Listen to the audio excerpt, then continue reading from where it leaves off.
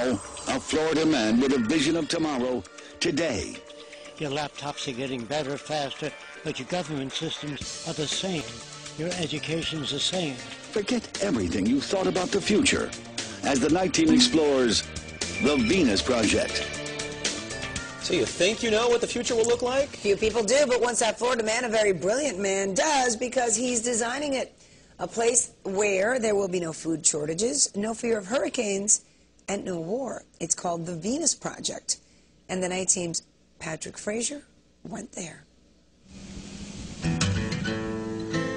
Driving down a quiet road near Lake Okeechobee, you see cows on one side, orange groves on the other, and a sugar mill in the distance. Then you arrive at a gate in Venus, Florida, to possibly get a look at the future of the world.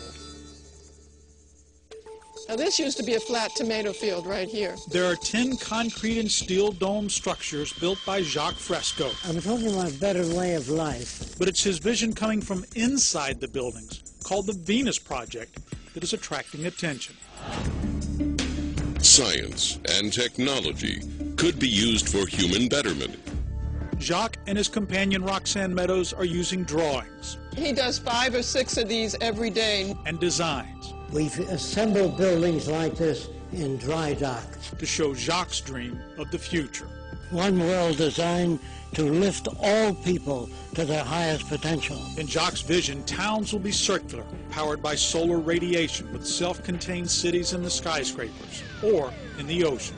It is actually less expensive in the long run to build newer cities from the ground up than to restore and maintain old ones. Who will do all the work to build it? No one. The Venus Project will be entirely automated. Factories, farms, everything. If you unleash science and technology to create a high standard of living for everyone and automate boring jobs, it's very easy to automate jobs. Sounds impossible. This is nickel and titanium. Then Jacque took a piece of metal with a memory, twisted it out of its shape, hit it with a dryer for a few seconds, and restored it to its original state. In the future, he says, buildings will be automatically created in a factory that way. They will deliver a box that's, say, 10 feet by 10 feet. Then the box with pointy roof, the windows, then the furniture comes up. Everything is memorized. When you talk to Jacque about the Venus Project, you hear two phrases quite a bit. The first, I have no credentials. He says that because he dropped out of school at 14. The second, all our problems are caused by BS, bad science. The way we think and the way we run our country is old and inefficient. Technology is racing forward, but not the mental state. Jacque has been inventing and designing since he was a teenager. He drew this rounded car when all cars were shaped like boxes. You designed this 65 years Yeah, ago? Why did it take this long for cars to Because I can't get to anybody. I have no credentials. That might be why he can't get everyone to listen, or it might be his blunt, outspoken style. We're so self-centered, so stupid. The environmentalists don't want to cut down the forest, but they live in wooden houses. But to do it Jacque's way, there would be no communism, no capitalism, everyone living together in one world, sharing everything. It's idealistic. No, it's not. It's practical. Not?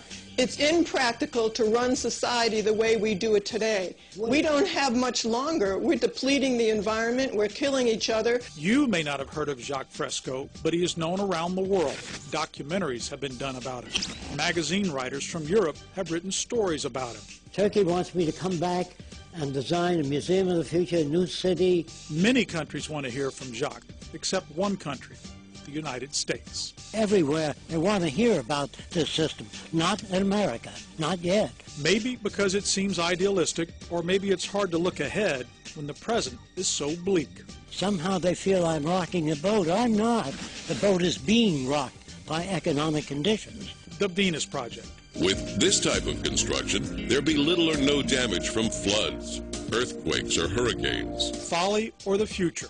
Let's hope we live long enough to find out. In Venus, Florida, I'm Patrick Fraser. 7 News. Well, if you'd like to learn more about the Venus Project and get in touch with Jacque, just go to our website at WSVN.com and look for Patrick's story.